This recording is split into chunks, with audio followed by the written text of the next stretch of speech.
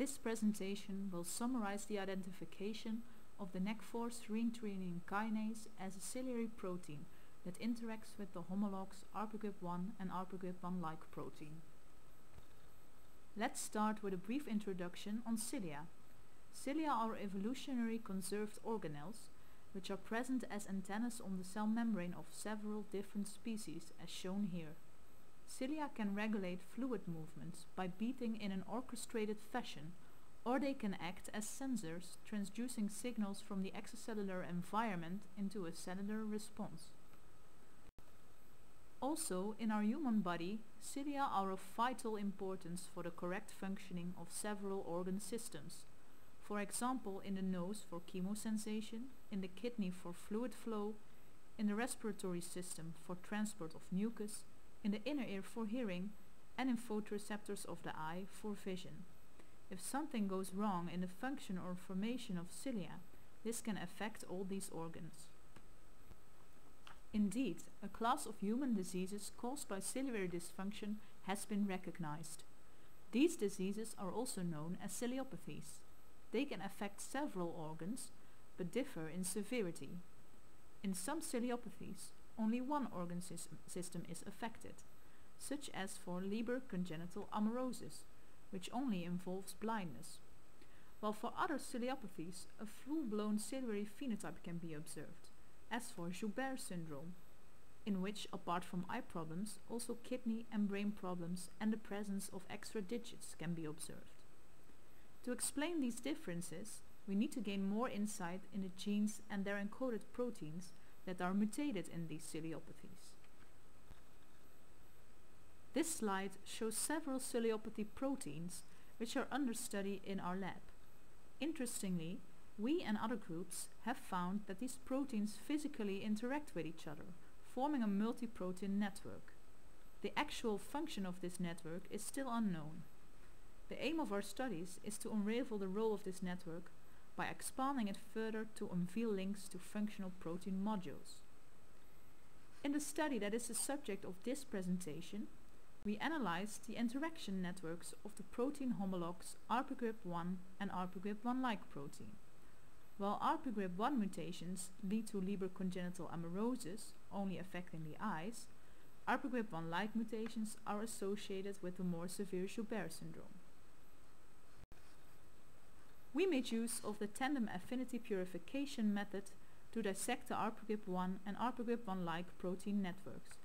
In this method, your protein of interest is expressed in HEK293 T cells as a fusion protein to a strep flag tag. Endogenous proteins present in the cells can then bind to your protein of interest, so native protein complexes are formed. Subsequently, cells are lysed and protein complexes are purified in two tandem steps, making use of the strep and flag moieties of the tag on your protein of interest. Then the isolated proteins are analyzed via mass spectrometry and bioinformatic methods are used to cluster the interactors. Also, further validation of interactions can be performed in pull-down or co-IP experiments. In this way you can build up your interaction network. Interestingly, we identified the Nek4 serine threonine kinase as the best interactor for both RPGRIP1 and RPGRIP1-like protein. Why was Nek4 so interesting to us? It belongs to a family of kinases which have been implicated in cell cycle regulation. However, recent studies have also linked some Neks to ciliary functions. Nek1 mutations, for example, were identified in human patients suffering from the ciliopathy short rib polydactyly syndrome, while in murine models Nek1 mutations caused polycystic kidney disease, which is also a hallmark of ciliopathies. Also Nek8 mutant mice showed kidney cysts and Nek8 mutations were found as a rare cause for a human renal cystic disease. These clues indicated that also Nek4 could be a putative ciliary gene, which prompted us to further characterize Nek4. We were fortunate that a commercial rabbit polyclonal antibody against Nek4 was available from Abnova, we successfully used this antibody to stain for Nek4 in ciliated cells. In this image, cilia are stained in blue, RPGRIP1-like is stained in green and Nek4 is stained in red. You can see that Nek4 specifically localizes at the base of the cilium, just below the transition zone region where RPGRIP1-like can be found.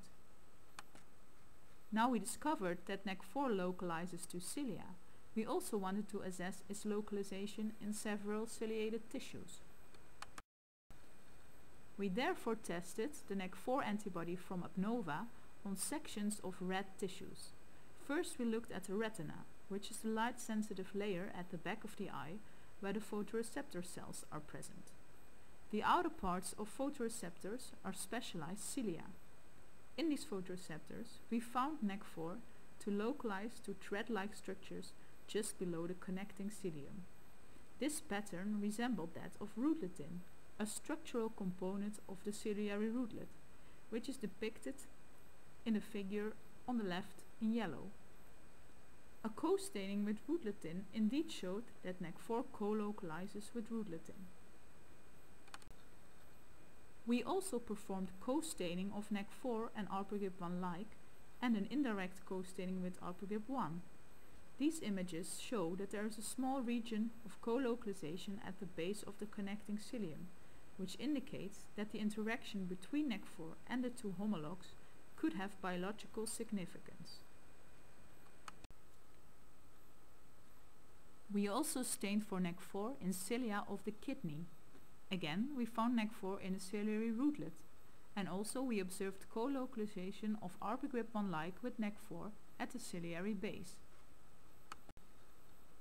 Also, for staining of brain cilia, which are motile cilia lining the brain ventricles, we found Nek4 to localize to rootlets and to co-localize with RPGRIP1-like at the proximal ends of the cilia. Now we firmly established Nek4 as a ciliary protein. We wanted to gain more insight in its actual function in the cilium. We therefore performed siRNA knockdown experiments in ciliated cells to assess the effects of Nek4 deficiency on cilium assembly.